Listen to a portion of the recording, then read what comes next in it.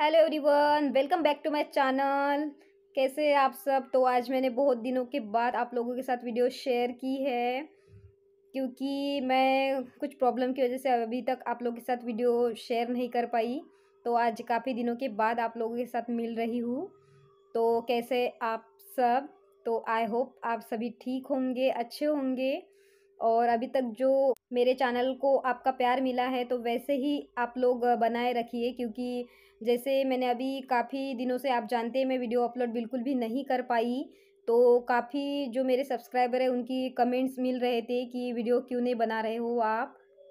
और पार्लर संबंधित काफ़ी जानकारी पूछी है मैंने, जिनका रिप्लाई मैं दे सकी, उनका दिया भी है मैंने, और जिनका नहीं दे सकी, उन, उनका मैं नहीं दे सकी हूँ। तो आप, बने रहिए मेरे साथ। तो आज की वीडियो में मैं एक सिंपल सी हेयर स्टाइल बताने वाली हूँ। तो सिंपल सी हेयर स्टाइल अपने खुद के बालों पर करने वाली हूँ।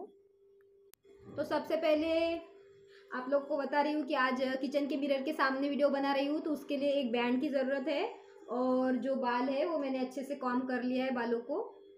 तो पहले एक पोनी डाल देंगे। तो दो बार इस तरह से कर लिया है मैंने, देखिए, और ये जो तीसरी बार मेरे हाथों में बैंड है तो बालों को हमें इस तरह से करना है और बस इस तरह से करके या आधे बार इस तरह से और इस तरह से किया है।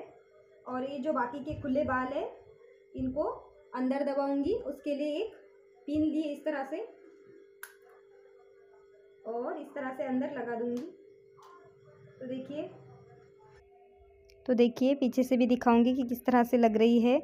अगर वीडियो अच्छी लगे तो वीडियो को लाइक करना, चैनल पे नए हैं तो प्लीज़ चैनल को सब्सक्राइब करना।